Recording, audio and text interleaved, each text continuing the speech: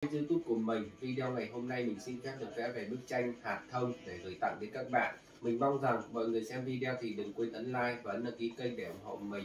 Còn bây giờ, mời các bạn cùng theo dõi mình vẽ tranh.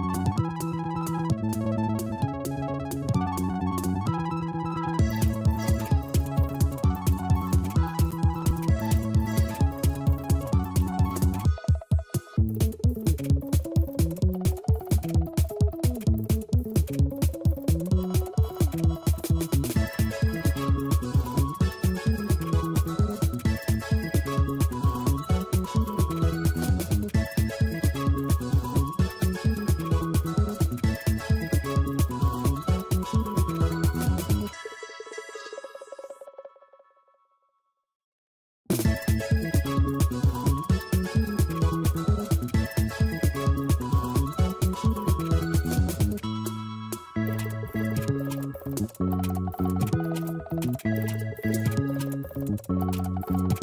you.